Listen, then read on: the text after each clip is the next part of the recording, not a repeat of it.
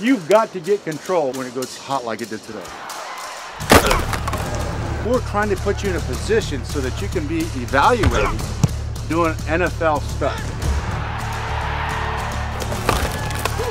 Composure. Focus on the details. And when you get the details done with a great attitude, who's going to beat you? Detail!